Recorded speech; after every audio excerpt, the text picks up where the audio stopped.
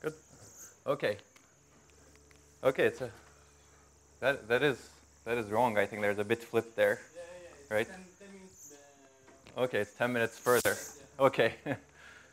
okay, well, welcome to uh, this really fast course. Uh, it's a great pleasure to be here at Technion again. I think this is my fourth, third time in Israel.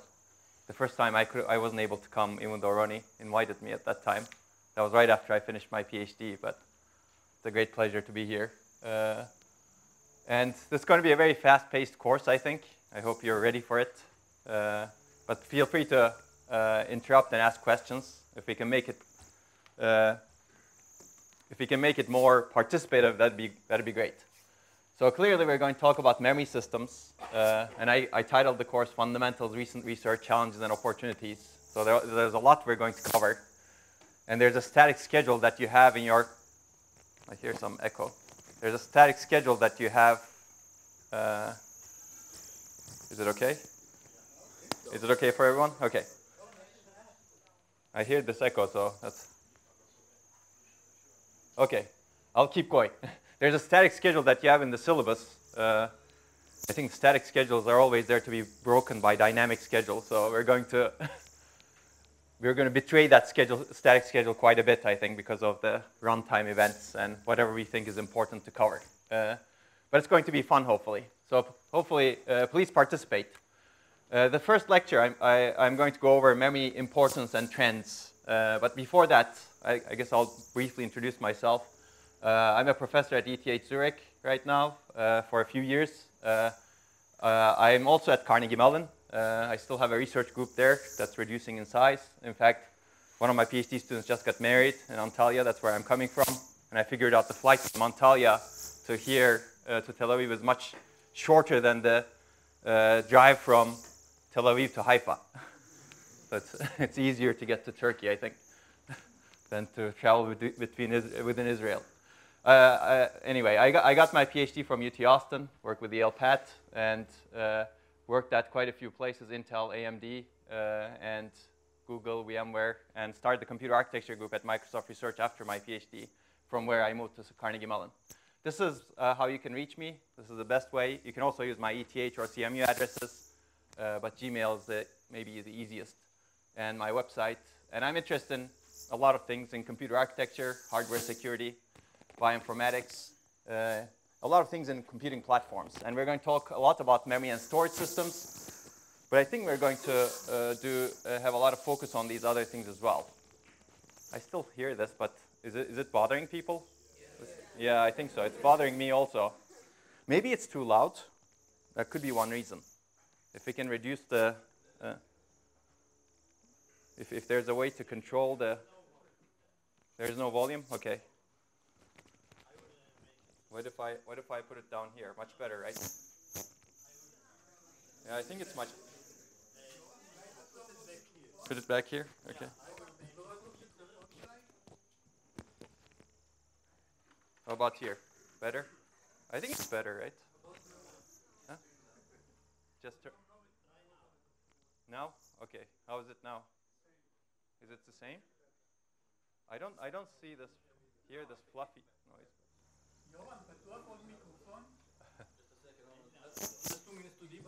Two minutes to debug it? Okay.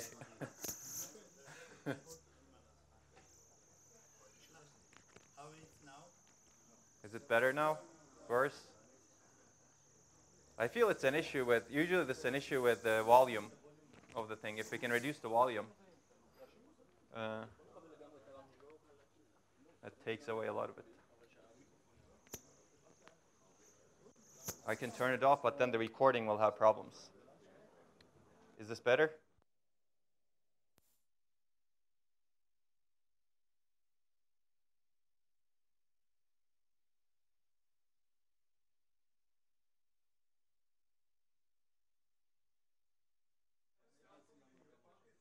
How about right? No, I think I think. Yeah, device. I cannot put it on the belt. There is no. Yeah, unfortunately, I'll I'll try. How about this? I don't think it's an issue with that though. Yeah, yeah. no, not on me. no,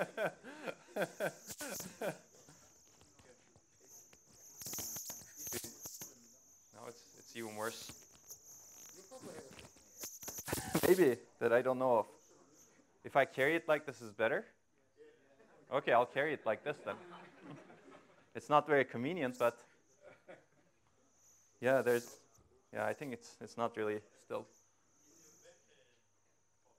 Back pockets, okay, I'll try that. we'll go through all combinations. Is it better? You think so? Okay. Okay, for one minute, I think, yeah, that's, this is, this is one of the location-dependent faults maybe, right? Which we're going to talk about. you have this location dependence in terms of the fault occurrence. And, and, fault tolerance is something that we're going to talk a lot about. By the way, is the uh, lighting okay? Okay. If this is going to get annoying, I think please tell me. I think it's a bit annoying for me, but hopefully we'll fix it later. Okay, these are some things that uh, my research group is currently working on. We're going to cover some of these things. As I said, all of computer architecture is interesting to me, hardware-software interface, bioinformatics, and security. We're going to cover a lot of this in this course, memory, storage, DRAM, flash, emerging technologies, and hopefully interconnects as well, since it's going to be a 26-hour uh, set of lectures. Uh, we're going to talk about heterogeneous and parallel systems. We work a lot on GPUs, systems for data analytics in general, and system architecture interaction. We're going to look a lot into that in this course, I think. New execution models, we're going to examine processing near or inside memory, and new interfaces that are required to support uh, things like that. And we're today at a very interesting interaction, uh, intersection of hardware security, energy efficiency, fault tolerance, and performance. We want all of them at the same time, except these are all pushing each other in different ways. And hopefully we're going to cover that really exciting inter intersection.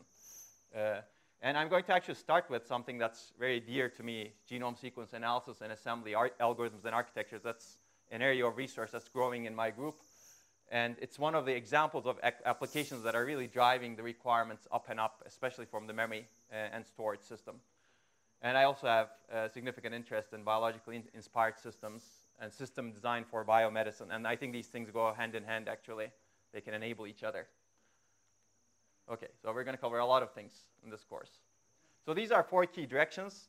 These are not the only things that we're going to cover, but I'm going to structure at least the first few uh, lectures uh, based on these key directions security, reliability, safety, energy efficiency, or memory-centric architectures, low latency. I think these are all important, uh, and we're going to motivate them in different ways. And architectures for genomics, medicine, and health. I'll start with this last one uh, as a motivating detour, uh, but hopefully this will kind of set the stage of an example application that has significant, that has huge requirements from, from memory in many dimensions. Is it still okay? Are people tolerating it? Yeah. Okay. Sort of? Okay. I don't know how to fix it, but it's definitely related to something here. okay. Okay, so uh, let me give you the story. Basically, this is really interesting to me because uh, this was our dream maybe about 11 years ago with one of my collaborators, Can Alkan, who's at Bilkent University now, while we were hiking Mount Rainier uh, in in beautiful Seattle area, uh, we were discussing like what can we do that's something big in bioinformatics. And this was what we wanted to do basically, an embedded device uh, that could perform genome analysis in real time. Basically, you could give this device to anyone, let's say a doctor, and the doctor uses this to analyze someone's genome and within a minute comes up with a drug that actually is personalized for that person and their condition and whatever that's important. Or do analyses like this. Which of these DNAs does the sec DNA segment match with for whatever reason that you're doing it, good or bad? Any technology can be used for good or bad, but we need to enable technology first. Uh, what is the likely genetic disposition of this patient to this drug, and many, many other things, right? At that time, uh, we didn't even have an embedded device that could do genome sequence analysis, but we actually believed in technology. Today, we actually have a device. I'm going to show you pictures of this. We didn't invent it, other people invented it. But we need to actually develop the mechanisms to enable that device uh, as well. So we were very interested in basically uh, first doing the first step in genome analysis. And many of you have had some biology class, uh, I assume. Genome consists of four bases, A, C, G, T, as you can see over here. And these things are real. Every one of us ha has it. This actually, this is an interesting story. This is Henrietta Lacks' uh, genome, which was captured, she was a patient, and it was uh, gotten from her without her permission. It's very difficult to do it probably today uh, because of privacy reasons, but this enabled a lot of studies in genome analysis. So what is the goal in DNA sequencing? What was the fundamental problem that we wanted to target to begin with? Basically, we wanted to find the, we want to find the complete sequence of these bases or base pairs, A, C, G, Ts in the DNA. The key challenge is if you had a device that could do this, that could basically take long DNA as input and give the complete sequence as output, no problem, right? Then the challenge is solved. But unfortunately, no such device exists. And it's very difficult to build this device because it's really a matter of trade-offs. So all sequencing machines that exist today chop DNA into small pieces, but they don't, and, and they give you those small pieces, but they don't give you how these pieces fit together. So it's really a puzzle that you need to solve. You need to actually assemble uh, or match it to some other reference uh, to actually figure out where these pieces fit together. And that makes this a computational problem, and that makes this also a memory problem. So basically, you have this 3.2 billion bases, base pairs, and some machines give you pieces of length 100, 300 base pairs, and you have many, many of these pieces, and you need to figure out how these pieces actually connect. So I, uh, I liken this to untangling yarn balls. You actually have these yarn balls, maybe different DNAs, uh, and you uh, the machine goes through it and cuts it into pieces with different technologies. And in the end, you have pieces of these different yarn balls, and you need to put together each yarn ball somehow. And that's essentially what happens when you actually sample some uh, DNA, because sometimes there are many, many DNAs inside that sample. Maybe I should move my hands. okay, and these are the choppers, basically, uh, that, uh, that uh, do the chopping today. There are many of these machines. Uh, this is one of the most advanced ones, uh, maybe $3 million or so, the last time I looked at it. It's very accurate in terms of its chopping. Basically, it gets error rates of 1% or so. Uh, but the length of the pieces that it uh, chops into is about 300 base pairs. This one didn't exist when we had our dream, but we believed in technology. This is the nanopore technology. Now you can actually have it in your hand. It's about $1,000, $2,000. It has high error rates, about 15 to 20% uh, error rates in terms of the correctness uh, of the ACTGs.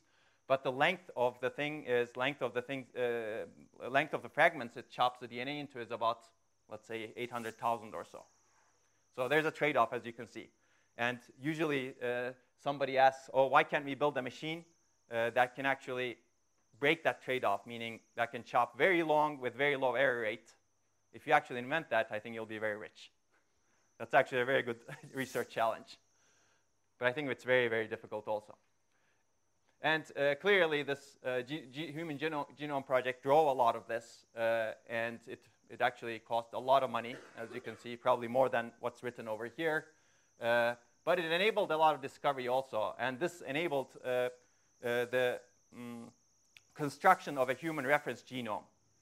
Not all of it is complete. Even that is not complete, because that needs to be validated with biological mechanisms. And this is, a, this is one of the favorite graphs. Uh, I, I, don't think any genome sequence analysis talk can do without this. Basically, we're sequencing many, many more genomes in all, the, all of the countries in the world because genome sequencing cost has dropped significantly with the introduction of these high throughput sequencing technologies. Basically, the cost is very little now. And as you can see, this is, uh, this is the Moore's law curve. So it's, it's actually something that's scaling much better than Moore's law today. We're, we're reducing the cost of genome sequence analysis. It's fun. Uh, okay, so what do we do with this? We know how to do the sequencing relatively well with the machines. Uh, uh, the next step in genome analysis is to basically solve the puzzle, figure out where these little fragments match in a reference genome. Assume that you have a reference genome for now, and we do today in, for most cases. Assembly is actually an even harder problem that requires even more computation. Uh, how, do you, how do you assemble this reference genome? Uh, after you figure out uh, how, how these things map, uh, to the reference genome. Then you call the variants, basically say, oh, what are the places I differ? And now you can actually uh, do many, many analyses. Like you can say, oh, where does this uh, person differ in terms of uh, the interactions that I know with this drug or whatever, right?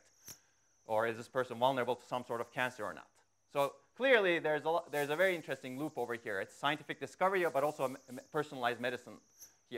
This is one example question. If I give you a bunch of sequences, tell me where they're the same uh, and where they're different. And these are real examples that you can find online also. This is one of my favorite examples. You look at different species and figure out where they differ and basically correlate this with uh, different types of, uh, I don't know, whatever you're examining. and this is another thing over here. And the difficulty is actually uh, humans are very similar to each other, even though they may have very different uh, opinions. and I like this one also, human and banana. okay, many, many analyses can be enabled. For example, it's another one. You, given a bunch of short sequences, can you identify the approximate species of, uh, cluster of genomically unknown organisms, right? You may actually do this even without assembling the reference genome of, a, of an unknown uh, organism. Actually, people are using nanopore sequencing technology to, uh, uh, to, to identify different types of viruses uh, in Africa, for example, with those little devices today. Okay, so what is the problem? The problem is going from this step to this step. We, this is easy, this is hard. And take this with a grain of salt. It really depends on the technology, and this also depends on the processing speed that you have. But basically, there's a huge mismatch between the bandwidth, throughput at which we can sequence things, and throughput at which we can analyze uh, the genome. Basically, this read mapping is a very slow process. It could take one to two weeks, depending on how comprehensive you want to be on a single machine. Uh, and also, if further you want to do analyses on top of that, you don't want this thing to take uh, one to two weeks or so. And this doesn't actually talk about, this talks about throughput, as you can see. It doesn't even talk about latency. Latency is even worse. Uh, Okay, basically we have a bottleneck in terms of read mapping. Uh, so what is read mapping? The, the, the, what we want to do is to map many short DNA fragments, they're called reads, to a known reference genome with some minor differences allowed. Why are these minor differences allowed? Because there are mistakes in the machine, and also there are variants. So DNA logically looks like this. Physically, it's like this. It gets chopped into these pieces, and you want to map the pieces to a reference genome and solve the puzzle. But it's inherently an approximate process, actually. It's not perfect, so you need to do it multiple times to build confidence. But we're going to look at only once, even. Okay, it's challenging because you have billions of 50 to 300 base pair reads. So what are the challenges? You need to find, uh, if you want to be comprehensive, you don't want to miss anything. This means that you need to find many mappings of each read, and a short read can actually map to many, many locations, especially with these high throughput DNA sequencing technology that has reduced the cost significantly. How can we find all mappings efficiently? You need to tolerate some small variances or errors in each read because each individual is different. Subject's DNA may slightly different from uh, the uh, reference. You may have mismatches, insertions, and deletions. I'm going to show you an example of this in a little bit. Uh, then the key question is how can we efficiently map each read with up to E errors present? And actually, people are trying to push E high today because you want to, uh, because of the uh, as E increases, that your variation tolerance increases, and you may actually figure out different variants based on this. And as E increases, the complexity of the problem also increases. That's, down, that's a big downside. And you need to meet, map each read very fast. Performance is important. As I said, human DNA is about 3.2 billion base pairs long, which means that you get millions of reads. And state-of-the-art mappers take weeks to map a human's DNA, depending on how comprehensive you want to be. If you don't want to be comprehensive, you can be very quick, but you lose a lot of accuracy. Actually, that's a, that's a very interesting thing uh, in science today. If people are tolerating uh, that loss of accuracy to get speed, but that may not be the right thing to do because you're, you're missing a lot of, uh, uh, a lot of mappings.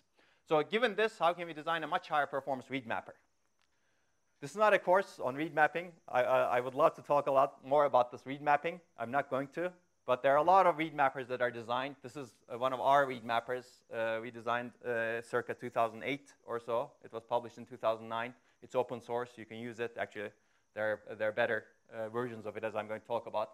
This is guaranteed to find all mappings uh, up to E errors uh, for, for a read. So it's very sensitive. It's one of the most sensitive mappers that are out there. That was our goal to begin with and we wanted to be fast also. But at the time uh, we designed this mapper, it was fast, but it's not fast enough. So why is not fast enough? Basically, it's spending all of its time doing what's called read alignment. Read alignment is edit distance computation. Edit distance computation, some of you may know, uh, there's Hamming distance. Hamming distance is by, by how many locations two equal length strings differ, right? Uh, that's easy to compute, actually. Whereas edit distance is the minimum number of edits insertions, deletions, or substitutions needed to make the read exactly match a reference segment. So it turns out this is much harder to compute. So this is one example over here.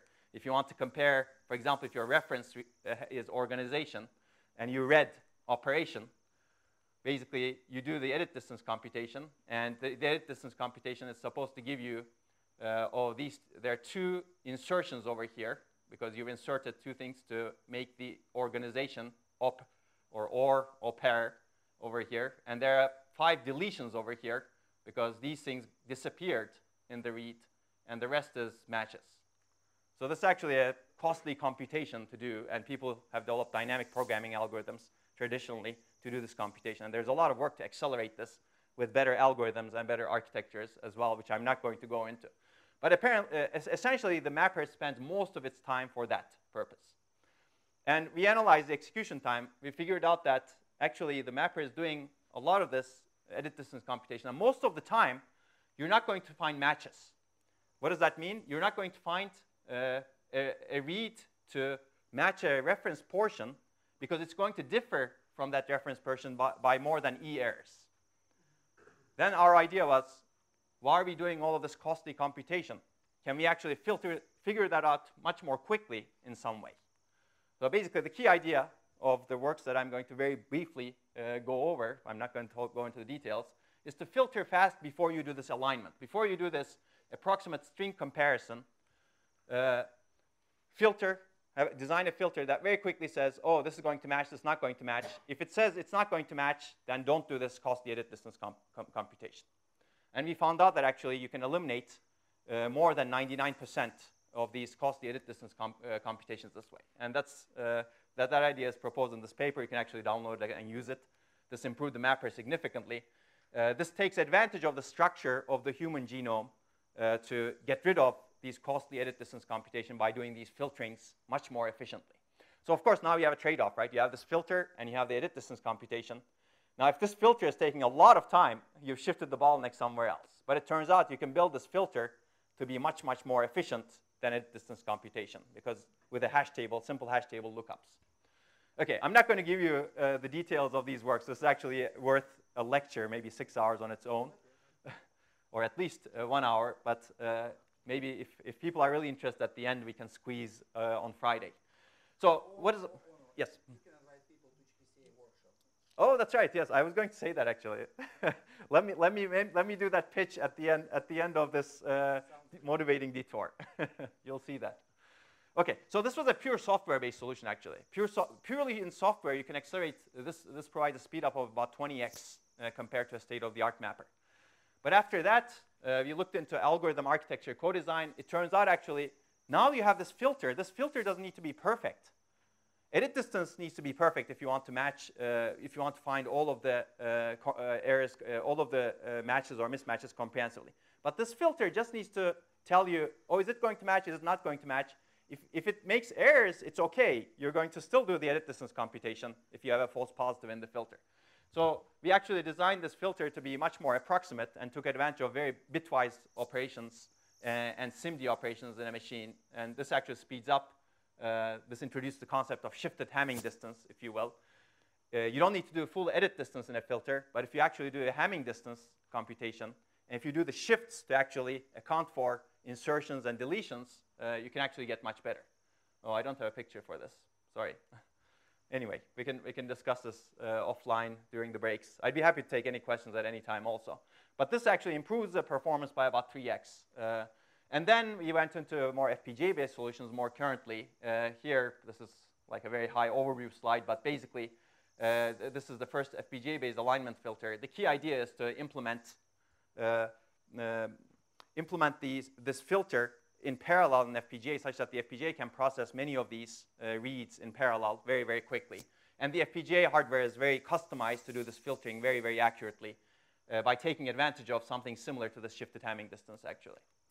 And this turns out this speeds up read mapping by about 10x uh, on top of what we've done before uh, with, the, with the customized hardware. And this is also online, so you can actually download the source code, put it on your FPGA, and try it out. I'd be happy to see uh, people replicate results or uh, give us feedback. Okay, so why am I telling you all of this? Uh, this is really interesting. This, uh, I think this, this, is a very forward-looking application. It's still very forward-looking. It doesn't exist yet, in my opinion, that device that we, we're still imagining. We're not there yet. But the problem is these this application is very heavily bottlenecked by data movement, and it's just one example. The FPGA performance is limited by the DRAM bandwidth. We have actually a lot of computation units. We're limited by the DRAM bandwidth. We cannot do more. That's true for the shifted Hamming distance computation on the SIMD engines as well. Uh, and so more, more recently, we've started examining solutions like processing in memory uh, that can alleviate this bottleneck. However, uh, this is true for any accelerator, but even more so for processing in memory. We need to design mapping and filtering algorithms to fit processing in memory. So you really need to do application architecture co-design in this case. And maybe I will talk about this when we talk about processing in memory. This is one filter that we've designed that can, that can accelerate read mapping by another 3x by pu pushing the computation uh, to the memory side. And 3x may sound low. I agree it's low. I think actually there's a lot more to do in this area. Uh, my belief is that you can go up to 10x, maybe 20x more if you push the computation over there. But there's also energy efficiency benefit that you get significantly by pushing the computation to the memory side in this case. Okay, I'm going to not talk about this because I already said a lot of these things. Uh, but I'm going to talk about something that may enable our dream. This was introduced in 2014. This is Oxford Nanopore Technologies. They basically designed a new technology where they could uh, pass the DNA through nanoscale holes. And while the DNA is passing, they could measure the current through that nanoscale hole. And based on the current, they could guess whether you have ACTG. Of course, this is a confidence building mechanism, right? There's a lot of machine learning actually employed in this nanopore sequencing technology. And this can be done at dimensions of this sort. And as I said, people are actually using this in places like Africa to uh, sequence whatever they can find over there. Uh, and unfortunately, what they're doing right now is they're gathering the data, but they cannot do the analysis on the device. They cannot do the analysis on their laptops. What they're doing is they're sending all of that data to some data center, probably somewhere in the US or Europe or wherever. So there's a huge data movement that's happening. And clearly, they're not going to get their answer very quickly uh, with that, even though the device is very much capable of doing the sequencing relatively quickly on site, in place. So there's a massive amount of waste from my perspective. You, have, you build this device, and you're wasting all of the world's power to actually move the data from that device somewhere else, right? But this is very interesting because it, it actually has bottlenecks in many of these places. The first place is this raw signal current data. You need to call the bases. It's called base calling, meaning figure out ACTGs. And that is actually a very intensive process right now. This is one of the biggest uh, time consumers today. After that, you need to find some read, read overlaps. After that, you need to actually assemble. And after that, you need to do the read mapping, which we just discussed right now. And after that, you need to do the polishing to improve the accuracy.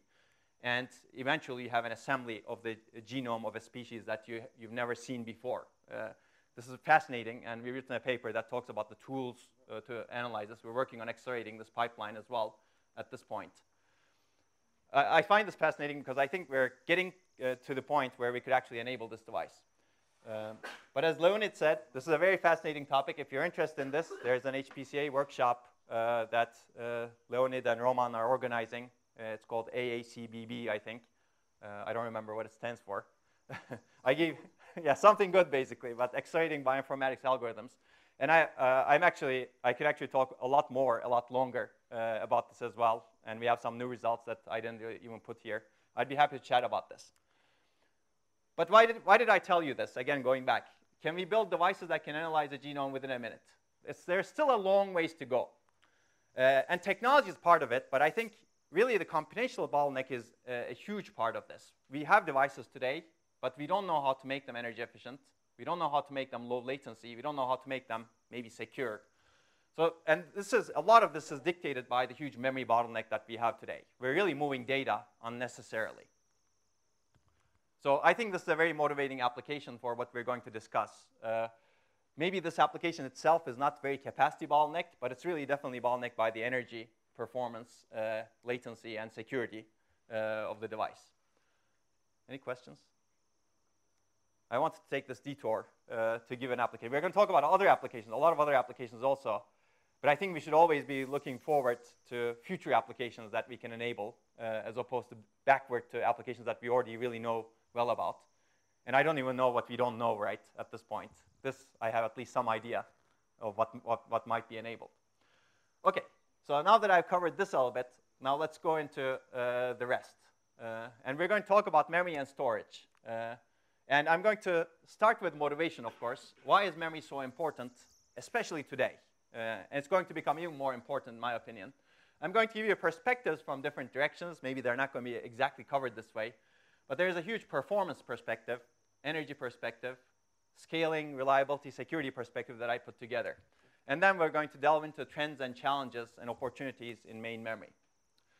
We're going to talk a lot about this part, uh, although sometimes we'll focus memories inside here, and we'll also focus on storage at some point. But let's start with this uh, main memory. Main memory is a critical component of all systems that we build today, whatever you're designing, server, mobile, embedded desktop, sensor, IoT, whatever you want to call it. It needs to have some sort of working storage. And this system must scale in many dimensions in terms of its size, capacity, cost, efficiency, uh, performance, and the algorithms we use to manage it to maintain the performance growth and the scaling benefits that we've been used to for a long time.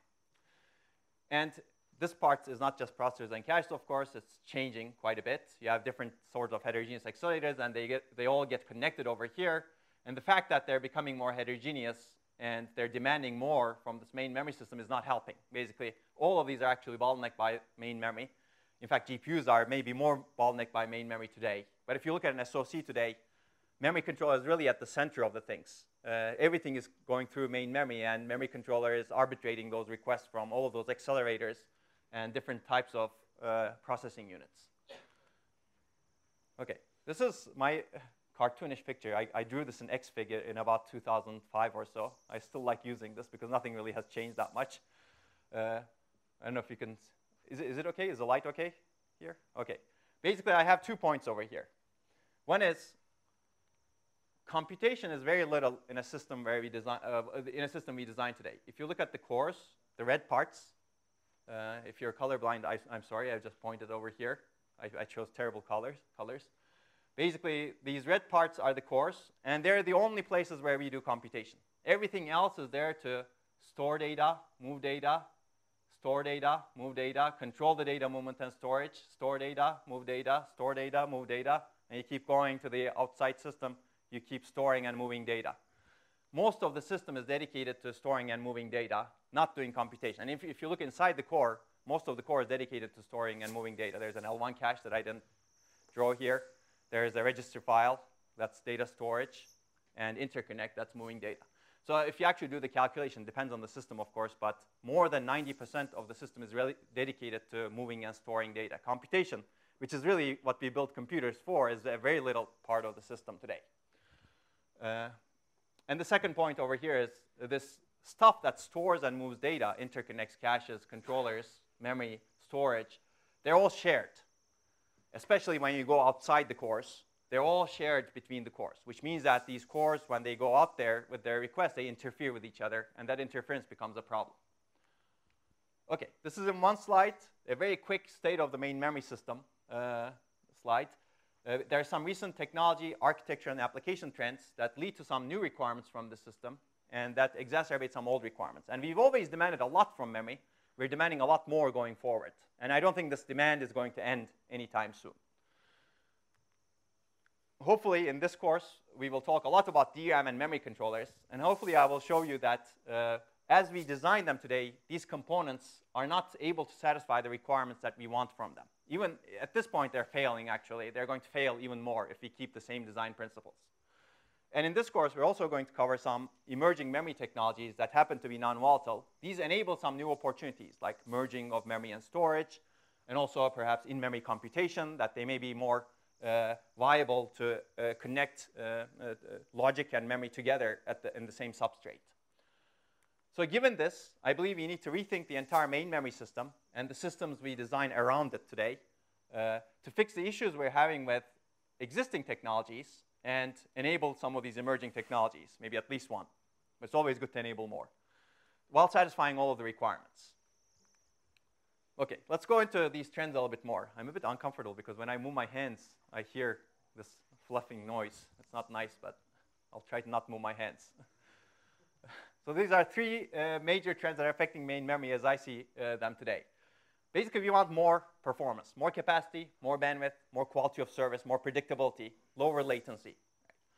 We, uh, energy and power is a key system design concern. And on top of this, the technology scaling of DRAM is ending. And we relied a lot on DRAM so far. We're going to cover uh, these very quickly.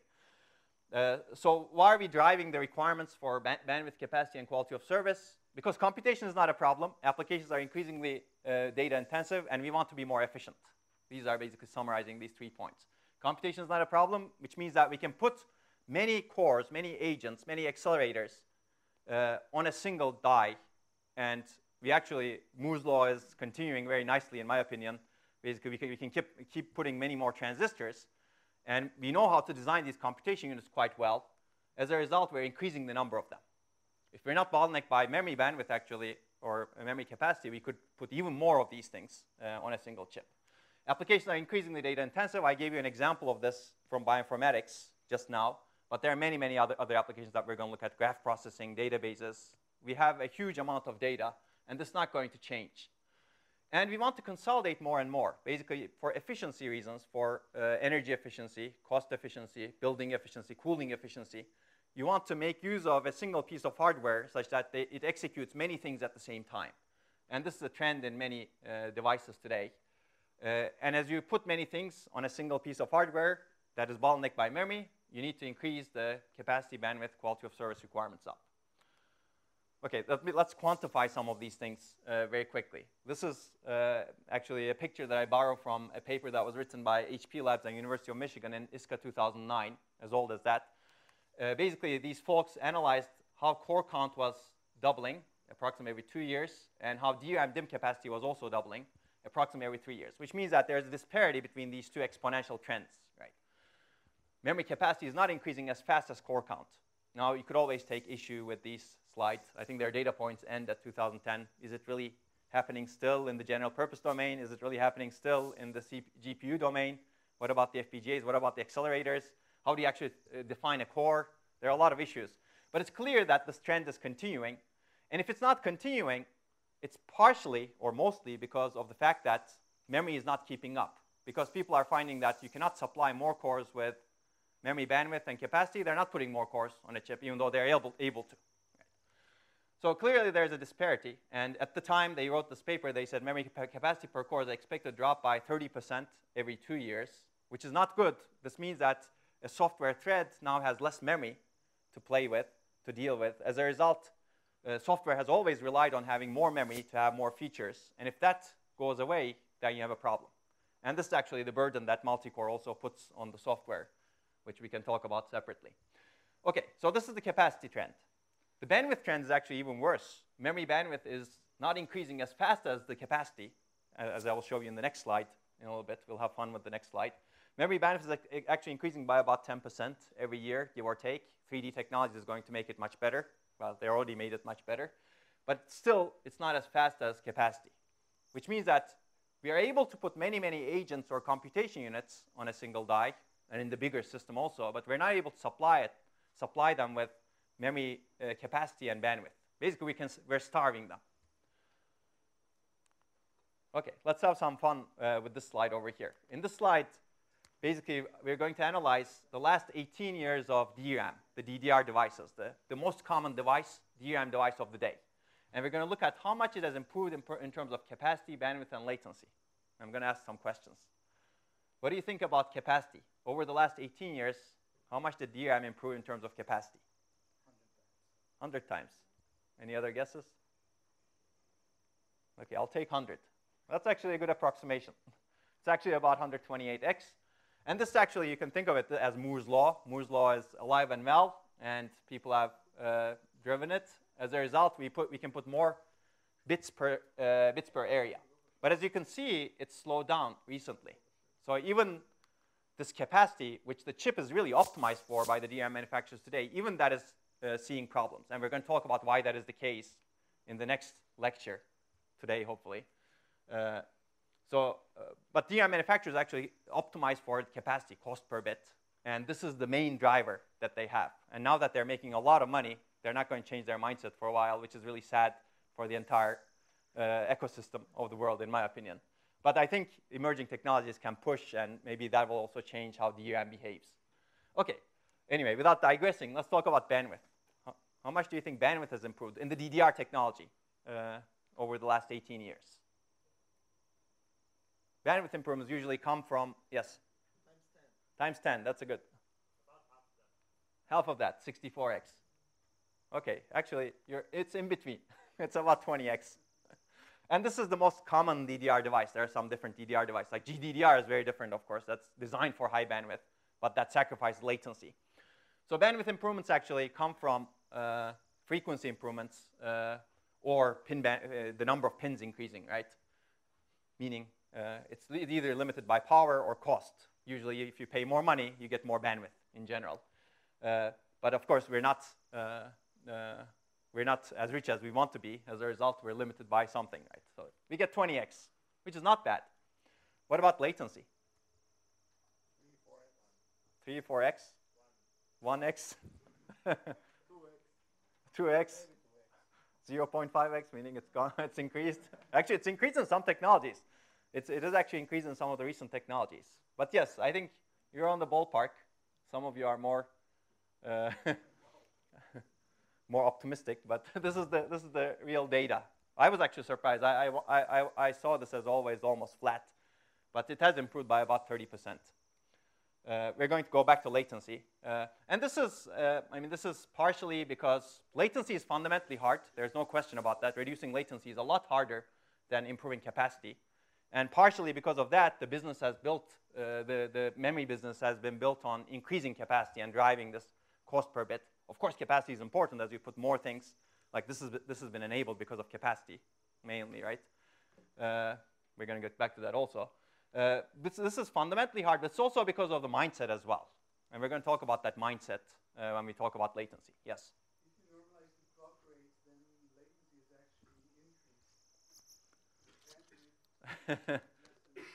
yeah, I mean, if you, if, you, if you have combined measures, then it becomes a little bit more difficult. Maybe that, that may be true, actually, but now you're, you're putting latency and bandwidth together, probably. Because clock rate affects both bandwidth and part of the latency. Oh, I see, I see. Yeah, yeah, uh, absolutely. So this doesn't take into account the CPU side of things. This, takes, this just looks at the DRAM device itself. You're right. If you look at, yeah, this is, I don't know how many megahertz, and this is probably 6 gigahertz or so right now. exactly. yeah, yeah. So yes, absolutely. So this doesn't look at the relative distance, but the relative distance from the CPU has increased even more because CPU latencies are uh, much, uh, much lower uh, here compared to here. Yes, that's a very good point. Yes? So the latency, this is the decrease. Basically, this is improvement. Hopefully, improvement is decrease in latency. yes. Say again. This is log scale, as you can see, 1, 10, 100. Yeah. Basically, it, it has, basically it has latency has reduced by about 30% in the last 18 years. okay, but there are clear trade-offs that we're going to talk about actually in some recent technologies like LPDDR4, 5. They actually reduce power, but they also increase latency. Uh, so they're, they're, they're interesting trade-offs, which we will talk about later on.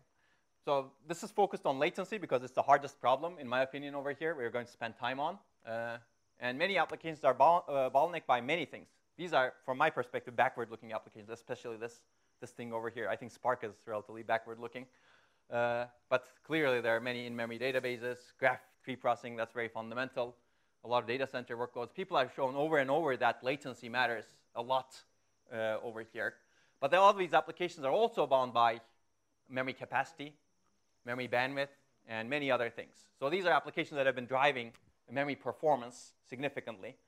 But even though they're very bottlenecked by memory latency, latency has not improved a lot. And as a result, actually, we've improved the latency tolerance mechanisms in the CPUs, and that has come at a system cost, which we will talk about later on. Okay. Yeah, maybe in terms of latency, one more slide over here. I'm going to use that later on again. But Dick Sites, when he actually designed the Alpha uh, 21264 processor, he was the chief architect of that. He wrote the short microprocessor research uh, report article. And he basically said it's the memory stupid. That's the title of the article, actually. And basically what he says in the article is we designed this processor to complete four instructions per cycle, but it's completing one instruction every four cycles. So it's operating at 1 16th of its bandwidth. He basically said it's waiting for memory most of the time. And this is 1995 or so. Uh, this is data from something close to my heart, my own PhD thesis uh, in 2003. I still use the slide. Basically, we analyzed a lot of applications that Intel was using at the time to design microprocessors with, and we found out that more than 50% of the time, the processor is waiting for main memory, L2 cache misses. And I'm going to show you later a study by Google in 2015. It's not on these slides. Uh, in 2015, that basically looks at all of the data center applications with the most recent, at the time, uh, processors that they're using. They basically show the same thing. More than 50% of the time, the data center, the processor is waiting for memory. So essentially, nothing has changed in the last 20 years, even though processor performance has improved significantly, of course, in the last 20 years.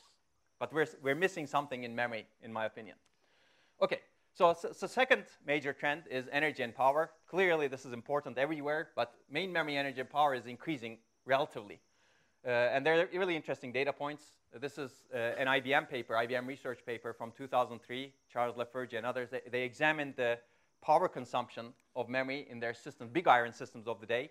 They show that 40 to 50% of the entire system energy is spent on the off-chip memory hierarchy. At that time, the off-chip memory hierarchy consisted of the, uh, the off-chip caches, off-chip interconnect, off-chip DRAM, off-chip storage. Uh, fast forward, IBM Power 8, this is a nice paper also, they analyzed, again, real system power. They basically said more than 40% of the entire system power is in DRAM, just in DRAM, because a lot of the other stuff went into the chip, and DRAM stayed off. As a result, it's consuming a lot of power. And similar uh, studies have been done for GPUs, showing that more than 40% of the GPU system power is on DRAM. And we've done similar studies, which I'm going to talk about later on. And one of the issues with DRAM is it consumes power even when it's not used. Like this is, for example, doing a lot of self-refresh in most of its DRAM, maybe all of its uh, DRAM today. And we're wasting a lot of energy. Uh, and if this was a longer course, I would have the students who are here calculate how much energy is wasted in a one exabyte memory system for just refresh. Okay, this actually ties into the next topic because refresh is a fundamental issue with DRAM. How uh, you need to fundamentally uh, refresh the data that's in a cell, and you need to determine how often you need to refresh it. And as the cell technology scales down to smaller technology nodes, it becomes fundamentally much more difficult to figure out how often you need to refresh DRAM. And the refresh rate also increases. And partially because of this, DRAM technology scaling is ending. We're going to talk about that. Okay, but one more thing about energy before we talk about that. This is a slide that you can argue uh, with a lot of numbers, uh, about a lot of numbers with. Uh, but if, if, this is a slide that I borrowed from Bill Dally's HiPEAC keynote, basically, if you look over here, uh, today a 64-bit double precision floating point operation is very cheap in terms of energy, with some technology assumptions, 20 picojoules. A DRAM read or write is very expensive, about 16 nanojoules. And I took the liberty of rounding up 800x to 1000x but we're going to look at more realistic numbers uh, later on. Now, given this, uh, does it make sense if you want, if you don't have a lot of locality and if you want to do a floating point addition on two different data items and write it back to somewhere else in memory, does it make sense to do three memory accesses to uh, accomplish this very simple double, double precision floating point operation? I'll ask that question here. If you actually go back 70 years later and try to do the calculation, figure out it's, very, it's not very easy. But it used to, this used to cost about two orders of magnitude more than this memory access. So we've actually moved five orders of magnitude to the other side in the scale, yet we're still bringing data into the processor to be processed. Okay, I'm foreshadowing some of the things that we're going to cover. Okay, uh, on top of all of this, as I said, DRAM technology scaling is ending. Uh, and ending is actually not a very strong word. Uh, I was using this term uh, in 2012 or so. Now everybody's using this term, which is nice, I think. Uh, but actually, uh, when I was using this term uh, in, in MEMCON conference in 2013, some folks from Samsung actually came and said the same thing. so that was very, that was very uh, reassuring. But it's very clear. I mean, it's obvious if you look at uh, the technology scaling of DRAM. And people have been projecting that DRAM will not easily scale below X nanometers. X nanometers is the feature size of a DRAM cell. And I like using X over here because as people change the prediction, projections, I don't need to keep my slide coherent. this is the this is a lazy symbolic, symbolic coherence, if you will. Any kind of x will go over here. Uh, but as you reduce the size of the feature size of the cell, as you reduce x, you get a lot of benefits, or we've gotten a lot of benefits so far. Clearly density, right? You get higher capacity, higher, no, more bits per area. You get lower cost, reasonable energy. Maybe not lower anymore, but reasonable energy scaling going forward. We're going to talk about that. Maybe I'll ask you that question a little bit. Uh, actually, yeah, okay, let's, let's get back to that. So if this ends, then we're going to have a huge difficulty uh, over here satisfying all of the other requirements. So let's talk about what Ronnie uh, mentioned in a, little, a little bit more detail. Basically, what is the fundamental problem? If you look at any memory technology, any memory technology needs to have a storage device and an access device. And both of these need to work reliably and correctly for the memory technology to work well. In DRAM, the storage device is the capacitor. And the access device is the access transistor, the bit line, and the sense amplifier, and the circuitry around it, basically. And for DRAM to work, this capacitor must be large enough for reliable sensing, and this access transistor should be large enough for low leakage and high retention time. And clearly, the sense amplifier needs to have good noise. But we're not going to talk about this part a lot right now. Uh, we're going to talk about the cell because reducing the cell has enabled a lot of the benefits. Uh, so as you reduce X, you reduce both, and both of these properties become difficult to maintain. And this was basically the value that was assigned to X in 2009 by ITRS. ITRS said scaling below 35 nanometers is challenging. They didn't say it will end at 35 nanometers. That would be very uh, not so reasonable of them to say. Whenever you say something will end, somebody will find a way of making sure that doesn't end. Uh, but they said it's challenging, and they were actually right. Can, can people guess where we are right now in terms of X? Like what is the feature size of DRAM?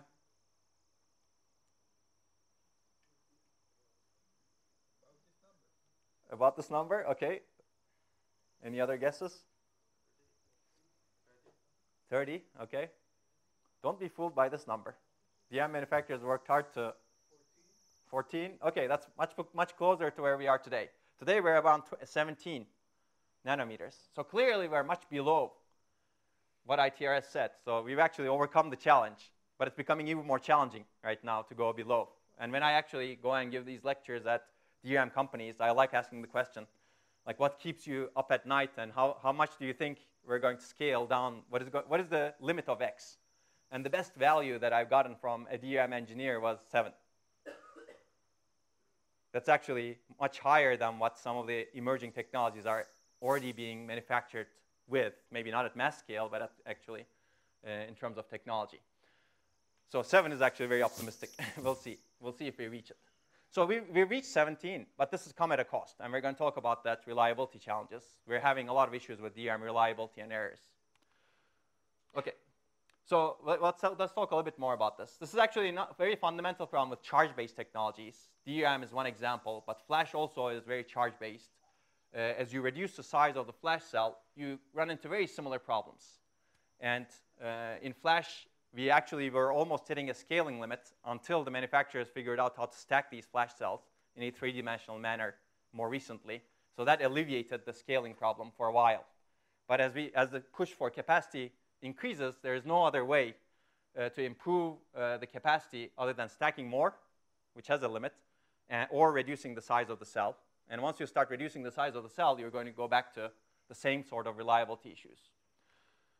So this is one example. We're going to cover this more, but we've done this study with Facebook uh, around 2014 or so. And we basically analyzed all of the memory errors that they've collected over the course of one and a half years or so. There's a lot of data in this paper. I'm going to point out just one. This is a correlational study. We don't control everything because this is production data center uh, data. Basically, we found out that there's a strong correlation between the error rate that you get from memory and the chip density that's employed in the server. So as the chip density increases, the server failure rate increases. And if you really want to understand what this is, you should really look at the paper because there, not, there has to be a normalized metric over here uh, that looks at the control set of servers. But you can almost see a linear relationship over here, as, uh, as you can see. And the key is, because these chips uh, have more cells that are packed together, uh, they're affecting each other. As a result, reliability has reduced, and we see more errors in the field. And we're going to see, we're going to look at more errors also. If you're interested, then you can take a look at this. So we've been building infrastructures to understand such issues. Uh, I'm going to talk a lot more about this when we talk about reliable today. This is one example infrastructure where we actually design FPGAs that are soft memory controllers, memory testers, and we can test memory. And we've been finding out different characteristics, uh, some of which are known to DRAM manufacturers, but they don't like talking about it, some of which are not known to DRAM manufacturers. And uh, I think this is really interesting. We're going to talk about that. But if you're really interested in testing DRAM, this is also open source. We've open sourced it recently. It's more easy to program. You can actually use a C++ API uh, to actually send commands to the memory controller and test whatever DRAM is attached to it. And we'd be happy to support it. You can download the source code from our GitHub.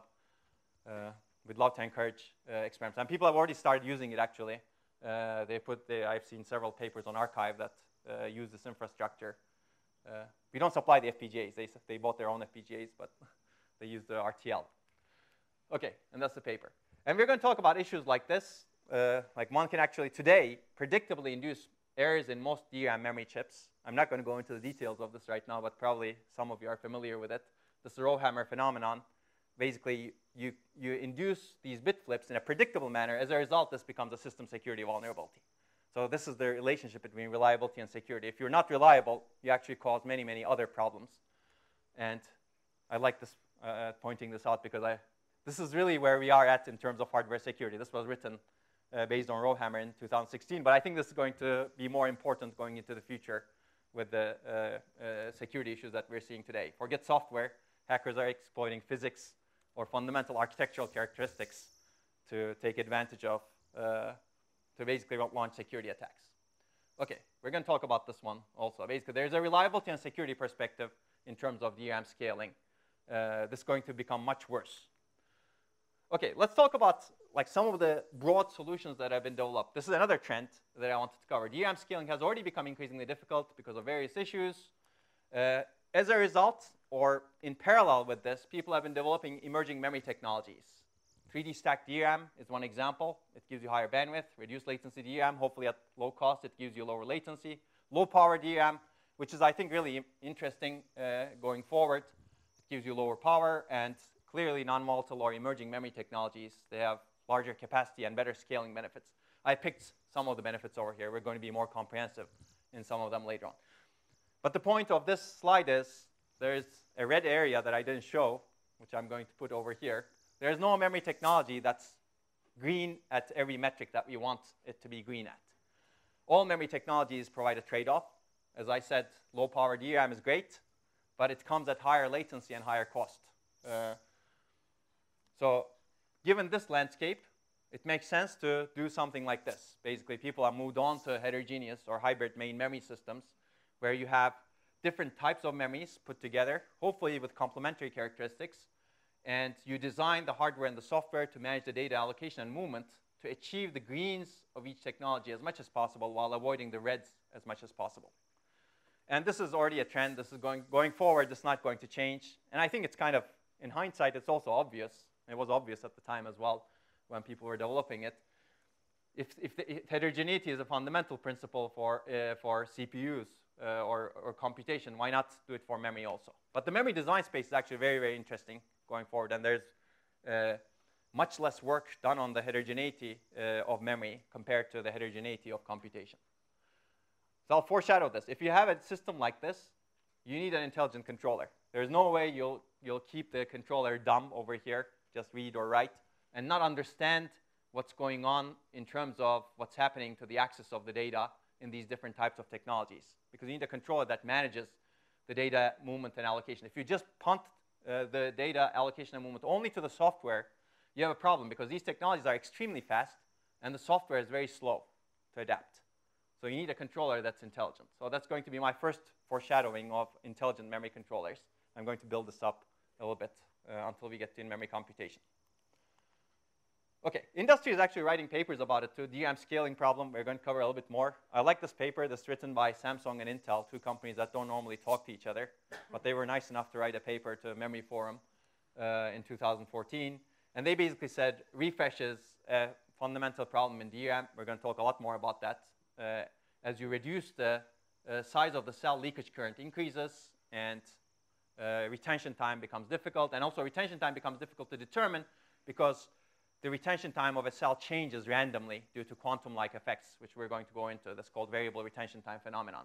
They also said write latencies are also increasing. I believe this is a bit less fundamental uh, and maybe more tolerable, but it's also important.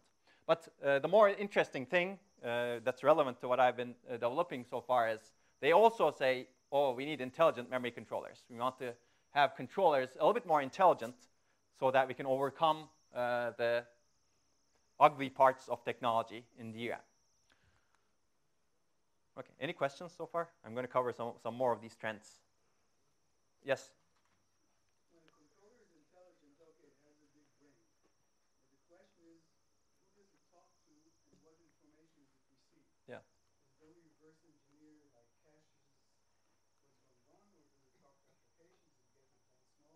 Yeah, that's a, that's a great question. I think it's, it's an open design space. We're going to see examples of different things. In my, in my opinion, it should be software programmable.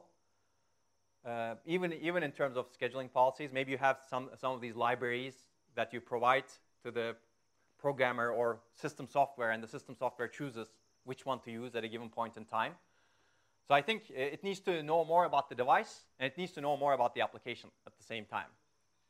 That's the, that's the best, in my opinion. but we're going to see examples of this. Clearly, it's not going to happen overnight, getting both of that information. Okay, so okay, let me talk one, about one orthogonal issue that I intend to cover in this course also. Uh, hopefully, we will get to it. Regardless of whatever you do in main memory, uh, it doesn't matter what technology you have over here. As long as it's a shared medium between uh, these agents that are accessing it, you have a fundamental interference problem. Cores or agents interfere with each other when accessing shared memory. Their requests contend uh, for main memory, different structures inside the main memory. As a result, they delay each other. And if you don't control it in some form, it leads to many problems. It leads to starvation, it leads to fairness problems, it leads to quality of service issues. You cannot satisfy guarantees of some of these different cores. For example, if you want a frames per second guarantee, you may not be able to satisfy it if you're not aware of the interference over here. And this is becoming worse. In my opinion, this is going to become even more worse, uh, especially when uh, the CPU uh, or, or the computation side is becoming more heterogeneous. You have different so sorts of agents that are injecting requests into the memory controller, and they have different sorts of hierarchies built into them. And you have different sorts of memories that are becoming even more hybrid over here. So it's not becoming a nice landscape. Uh, there, there, there's interference between all of these agents and different types of memories. So this quality of service or predictable performance or performance problem is going to increase. And uh, one question that we will hopefully tackle in the later part of this course is how do we allocate resources to these heterogeneous agents to mitigate interference and provide predictable performance? And as I said, the memory control is in the center of things in this thing, and it kind of, this thing looks like, kind of looks like that. Even though this is a much simpler version of what is inside here, in my opinion. There are a lot more accelerators here, for example. Uh, okay, so I think this is another foreshadowing. if you have some system like this, you need to have an intelligent memory control that understands the requirements of the applications and that also understands the characteristics of the underlying memories to be able to do, uh, do this job well. Okay, uh, so let's uh, not switch gears, but continue what we're discussing. Basically, we want to talk about solutions also. I'm going to uh, go through some broad strokes first. How do we solve the problem? And this is going to be a, a, an example of uh, like broad abstract of what we're going to cover. So fixing it is a good solution direction. Basically, we, we keep the same technology somehow, but make memory and controllers more intelligent. This requires, in my opinion, new interfaces, maybe application interfaces, new interface to the memory, new functions, and new architectures. I call it system memory co-design. The second solution direction, in my opinion, is eliminating or minimizing it. If we can find a technology that augments DRAM or gets rid of DRAM somehow, that's great. Right? And this is very interesting because there are some new technologies that may potentially do this. I'm not sure if they're all good, but they, they may actually threaten at least DRAM in some way. And this uh, enables a system-wide rethinking of memory as well as storage, because these technologies happen to be non-volatile as well. And the third direction, which is also very interesting in my opinion, is embracing the problem. Meaning that, okay, we have these memories that are not perfect, so have these heterogeneous combinations of memories and map data intelligently across them. And this is true for reliability also. Maybe some memories are extremely reliable, some are not reliable, or you consciously designed them to be reliable and unreliable, and you put them together and you map data intelligently across them, and that way you scale the uh, memory uh, system. There may, maybe there are other things. I'd be happy to hear your opinion on this also, but it's not clear that any of the solutions is going to be easy. Basically, we need software, hardware, and device cooperation, and we need to understand how these things operate together uh, to, to be able to enable some of these solutions. So we need to think across the stack, if you will. So I'm going to talk about two solution directions. Uh, do we normally take a break? That's a long. What do you think? This is a two-hour lecture, which is relatively long. But say it again. Up to, Up to me. Okay. Maybe we should take a four minute break so that people. That will no? not work. Uh, that will not work. Okay. No, how, how long will work that? So we need to be done by 12, right? If I understand correctly, for lunch. Who wants to? Okay, let- let's, let's do it democratic way, which may not be the best form of governance, but so who wants a break right now? Like five minutes. Who doesn't want a break right now? Okay. Okay, then it's five minutes, but I'll start after five minutes.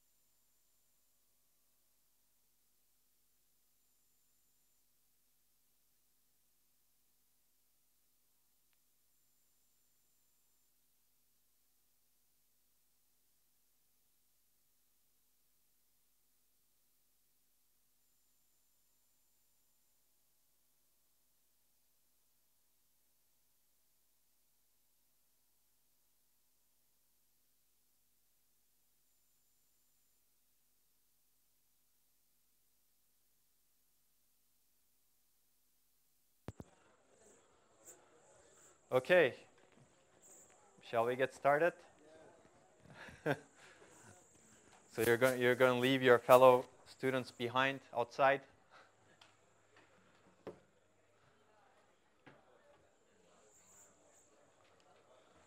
Okay, we're getting started. Let me let me pull it. Close the door. Okay. That helps, I guess. Time to get started. I know Ronnie can put, pull everyone in. I see. This is really annoying, actually. I don't know.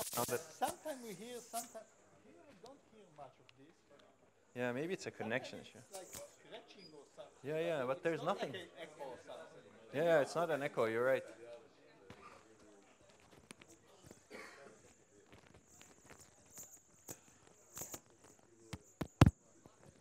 Sorry, I want to test it a bit.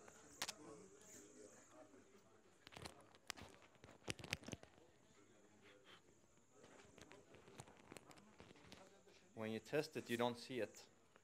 This is like a retention fault.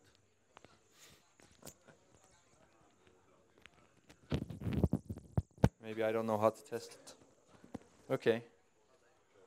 Maybe I cleaned it. From there?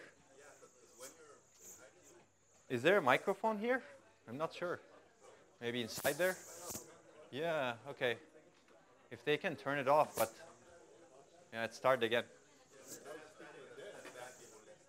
Oh, I see. Let's try it, yeah. Okay. Is it better? Okay. Okay. yeah, I don't know.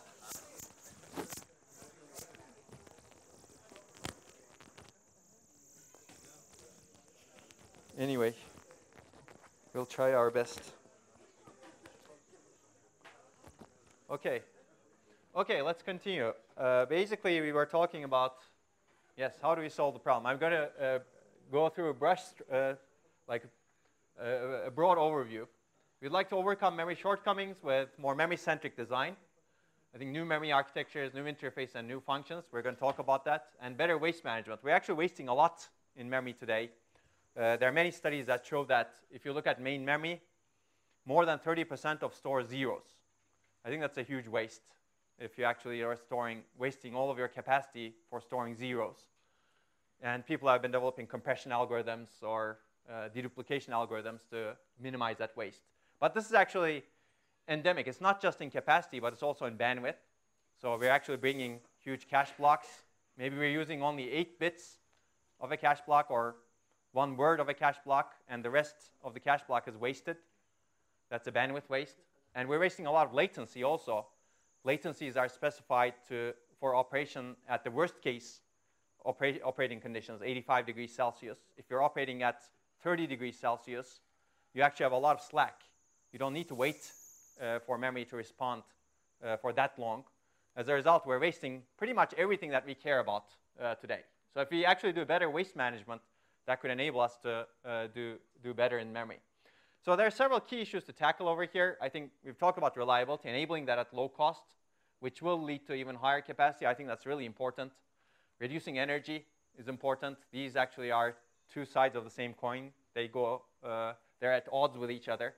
Reducing latency is important. Uh, improving bandwidth and reducing waste, as we discussed. One solution which we will talk about that uh, can help a lot of these at the same time is enabling computation close to data. I think this is really uh, going to be important going into the future. And that will change how we think about memory systems. Uh, that will also change how we think about programming models also, and maybe things like coherence, virtual memory. Uh, I think that will be that will all be impacted by if you actually uh, put computation somewhere else as opposed to the processor. Okay, that's very interesting. I'm going to cover a bunch of issues over here, starting from fundamentals to more recent research. Uh, and okay, these are some of the recent research that we're doing over here in the last few years. Uh, okay, the second solution direction is emerging memory technologies. Uh, basically, this is I think this is fascinating, and this could also change a lot in the software, and we're going to cover a lot about this. There are some emerging memory technologies that are resistive, that are more scalable than DRAM. As a result, they're very promising, and they're non-volatile on top of this. they're more scalable because they're resistive. And one example is phase change memory. This is really old technology. It's used in rewritable CDs. When we talk about it, we'll talk about like how it became more interesting today. It became more interesting today because read devices for it that actually uh, detect the material's resistance have become much more reliable and fast. In rewritable CDs, you use optical uh, methods for reading by shining light on things, but that's a very slow reading process. If you want to use this as your computer's main memory, you need the read device to be fast. Uh, and data is stored by changing the phase of material, and you detect the material's resistance. And people actually prototyped this at very low nanometers when people were saying, oh, DRAM cannot easily scale below 35 nanometers, right, as you can see over here. And this number has been updated many times. I think the lowest number I've seen is maybe 3 nanometers or so uh, over here. So uh, this is one example of a technology. I'm not taking sides with any technology. I know there's a lot of very interesting work over here uh, that are on memristors. I think they're also very interesting. RRAM is very interesting. Uh, but a lot of these technologies are resistive. They're fundamentally similar in, some, in that sense, but they're also very, very different in terms of their characteristics. Uh, all of these are expected to be denser than DRAM because they can actually store multiple bits per cell because you can chop up the resistance range into uh, many windows, whereas it's very difficult to do that in DRAM. Chopping up the charge range in a capacitor is very difficult. First of all, charge is very small. Second, if you chop it up, you need very sensitive uh, sensing mechanisms, and that, that actually blows up your sense amplifier to be extremely large. The sense amplifier today in DRAM is already very large. It's more than 100 times the size of a cell. Okay, but the problem is these emerging technologies have many other shortcomings that are not written here. The key question is, can we somehow enable them to replace, augment, or surpass DRAM? Surpass is interesting because they can surpass DRAM because they're non-volatile. You can actually operate on persistent data in place. And we're going to talk about that when we talk about the emerging memory technologies uh, lecture. And these are some of the works that we're doing in the area. Okay, combination is basically uh, hybrid memory systems. Uh, it's not clear if we're going to do with only one technology, but you can combine multiple different technologies as well and design the hardware and the software to manage data allocation and movement as we've discussed before. We're going to talk about this also when we talk about emerging technologies. This is one example that I want to foreshadow. Uh, if you actually uh, Uh, are able to design hybrid memories, you can take advantage of the application characteristics. Imagine an application. Many applications have these characteristics. Imagine an application where this data is very sensitive to errors inside memory. If you get a fault in a data structure, a pointer to a critical data structure, you, the application basically crashes. Or you get a system security vulnerability. That's maybe harder to measure. So that you want to protect. This is very vulnerable. Whereas some other part of the application, you get an error, some part of the data that is approximate to begin with, you don't really care. The vulnerability is extremely low. If you can actually classify your data into shades of gray, or black and white in this case, uh, vulnerable and tolerant, maybe you can also design your memory explicitly to fit the characteristics of these different sorts of data, reliable and low cost. These are examples only. And you have a much better system in the end. This is the idea of heterogeneous reliability memory. I, am going to talk about this uh, more later on, but I think this is a very promising direction because this can be any technology, and this can be explicitly designed. And also, of course, there's a huge hardware-software co-design space here. We did this study uh, with Microsoft. We actually, one of my students went and uh, modified their web search application uh, in a coarse grain uh, in terms of its vulnerability and tolerance uh, to errors and partitioned the data. And he showed that you could actually reduce the hardware cost in a data center by about 4 to 5%. Why? Because you get rid of all of the, all of the data center is designed assuming you will get errors. But most of the time, you don't get errors. Or when you get errors, you it doesn't matter. So you can get rid of a lot of the ECC memory, high-cost ECC memory from the system. And actually, you can design some of the memory to be not so well-tested if you don't really care about the errors that you get in parts of your data. And I think with more uh, uh, approximate applications, like if you're doing training on huge amounts of data sets and you have some error tolerance, and if your memory provides error tolerance that's better than what your error tolerance is to begin with, you can actually do this sort of uh, optimization. Okay, we may talk about that more. And this is the paper uh, if you're interested. Okay, uh, we'll talk about memory interference very quickly. Uh, memory interference between cores is uncontrolled. As a result, you get unfairness, starvation, and low performance, which means that you have an uncontrollable, unpredictable, and vulnerable system. If you co-locate two applications together, you don't know how they will interact. Uh, The solution that we're going to discuss is more quality of service aware memory systems. It's a hardware software cooperative solution again. You need to design the hardware to provide a configurable fairness substrate such that you can tell the memory controller prioritize this application, for example, or tell the memory controller these are the guarantees that this application requires. And that needs to be told by the software, right? So we're going to talk about some of the mechanisms to provide quality of service and how the software can control them. This is very quickly. I think this is, uh, this pushing the boundaries is going to be important. How do, how do we provide very strong memory service guarantees? Uh, we would like to really satisfy performance and service level agreement requirements in the presence of shared main memory, heterogeneous agents, and hybrid memory and storage.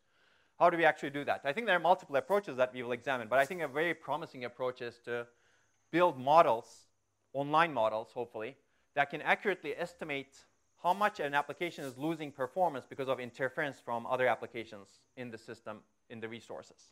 How do we do that? I think how do you build an accurate model is really interesting.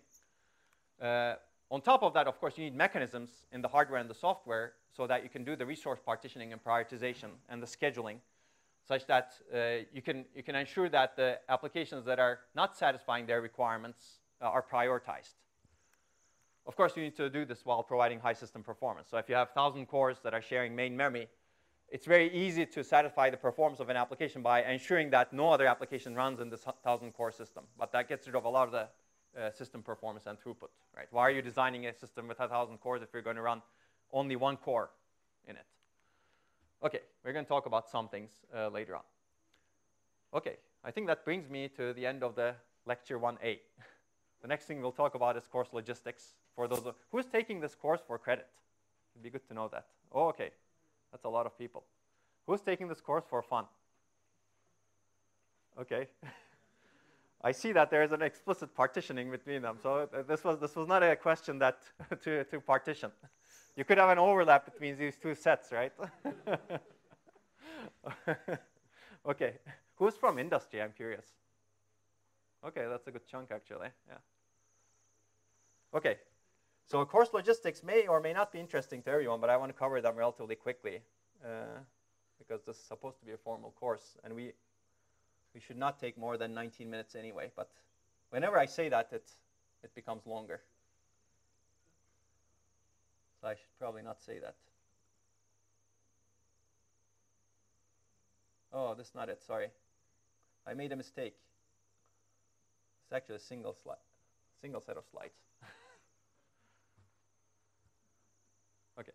So how, how many people want the lecture slides to be available beforehand? Okay. So, or even, I think that's the biggest set actually. okay, so we'll try to make the lecture slides available right before the lecture. Is that good? Or do you prefer it the night before? Oh, wow. That's, that may not be as easy, you know. that's going to be my, uh, yeah, that's going to be a challenge with the hotel internet. okay, so let's do the course logistics very quickly. Uh, this is actually not a comprehensive, I didn't finish this. Uh, we have, uh, the real thing is in the syllabus.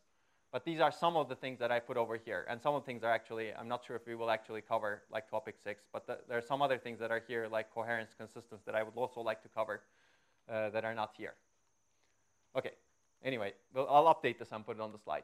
So this course, I think uh, my goal with this course is to cover many problems and potential solutions related to the design of the memory systems in the many-core era or beyond the many-core era. Because the design of the memory system poses many difficult research and engineering problems important fundamental problems, in my opinion, and industry relevant problems. Uh, problems whose solutions can revolutionize the world, in my opinion.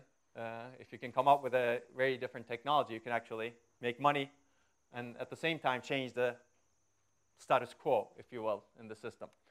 I believe many creative and insightful solutions are needed to solve these problems. It's not going to be business as usual.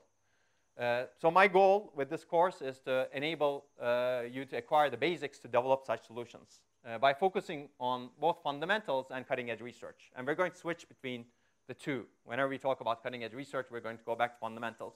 But I'm going to build some fundamentals in the main memory system to begin with. This is my contact information. Uh, you can use my cell phone, WhatsApp to contact me. That's perfectly fine. I'll be here until uh, next Monday, I think, or early Tuesday. Uh, I'd be happy to meet. I mean, we have some slots in between. You can find me during the breaks or email me or WhatsApp me anytime. And there's, this is a website for course slides, papers, and updates. Uh, Roman, who's not here, I guess he's not here right now. He's the TA of the course. Uh, and for the curious, actually, I've uh, given a course in ACACES. Uh, that's a summer school for HiPEAC very recently. Uh, that, uh, and the slides that I have over here, over there, are linked from there. But we may not follow the same order. And this is us, basically. This is Roman. He, was here earlier. He's going to be back, I think.